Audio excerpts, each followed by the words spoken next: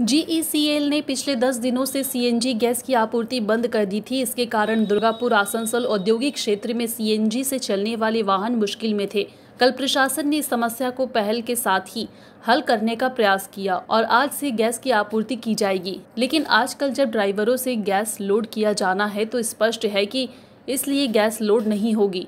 इंटक नेता राजू आहलूवालिया के नेतृत्व में ड्राइवरों ने विरोध प्रदर्शन किया।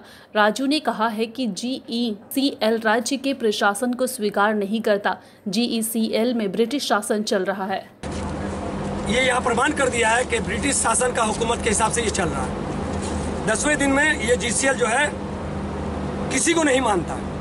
कल एडीएम साहब के यहाँ बैठक हुई थी, जिसमें एसडीओ आसनसोल एसडीओ दुर्गापुर प्रशासन के अधिकारी कन्यापुर आईसी विभिन्न यूनियन के प्रतिनिधि डिस्ट्रिक्ट लेबर कमिश्नर सारे लोग उपस्थित थे जीसीएल मैनेजमेंट के लोग उपस्थित थे। कल यही चुक्ति हुई थी कि जो है, कल रात से ही सीएनजी गैस जो है विभिन्न पेट्रोल पंप में सप्लाई जारी रख